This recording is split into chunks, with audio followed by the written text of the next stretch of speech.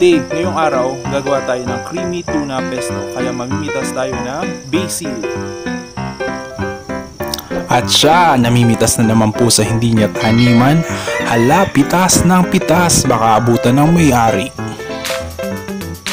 Ang mga kakailanganin nating sangkap ay pasta mula sa gift pack ng Christmas party, century tuna mula sa malutuan ni Tay, isang Nestle cream na inutang sa tindahan, at tatlong pirasong bawang. At syempre, ang star ng ating recipe, ang ating basil. Napapansin nyo, butas-butas. Don't worry, that's organic. Basil po talaga ito, hindi laing. Ginubis po ang variety nito, kaya po ito ay malapad. Ang una po natin gagawin, magbabalat tayo ng ating bawang. Tuturuan ko kayo ng tip para madali ang pagbabalat ng bawang. Hawakan na magkabilang dulo ng bawang at ipitin. Kitang kita nyo naman sobrang dali na panghiwi ako.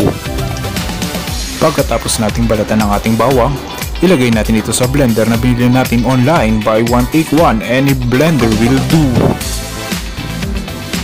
Isunod natin ang ating Nestle cream. Ibuhos natin ito sa blender na parang gatas lamang.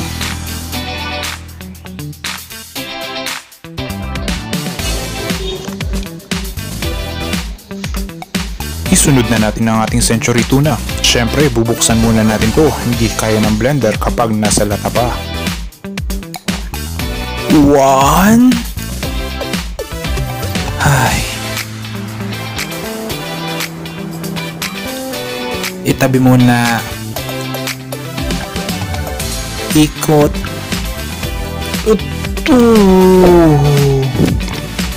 Ay, slow motion ay natapos din. Salamat. At ayan, bati-bati muna pagtabihin natin sila. Ibuhos na naman natin sa ating blender.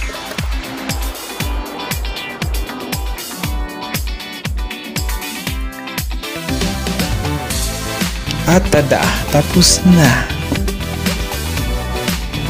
Ilagay na natin ang ating basil sa ating blender. Push. Push. Push. Oh, mag-ingat pa sa mayad ang kamay. Push.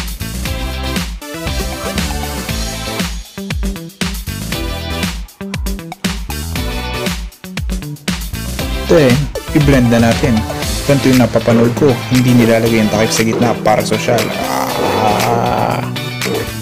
Ayan, di ba? Kitang-kita, nag-zoom pa. Ayan, napakaganda social na bago. Matalsikan na. Ay, sorry po, technical problem. At ayan, nalinis na natin ang ating camera at mga kalat na ginawa. Di ba social talaga? Ayan, tanggalin natin sa ating blender ikot-ikot at magic kawali na ang ilalim painitin muna natin ang ating pesto hanggang kumulo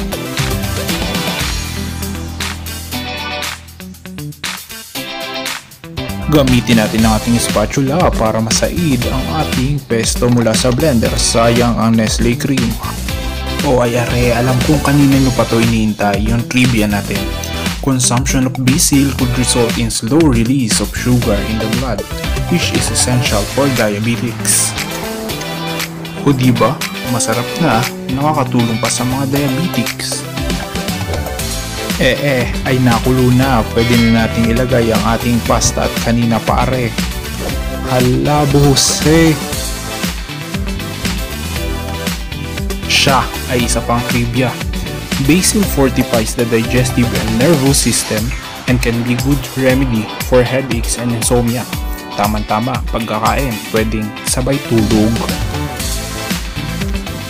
Itos na natin ang ating pasta walang gist tos sosyalen hanggang makoat ng ating sauce. Required talaga na mataas ang pagtutos ng pagbaba, plato na, charan! Sabi nila, mas mataas ang plating, mas sosyal. O diba, taasan pa natin with toppings. Yum yum yum, happy eating!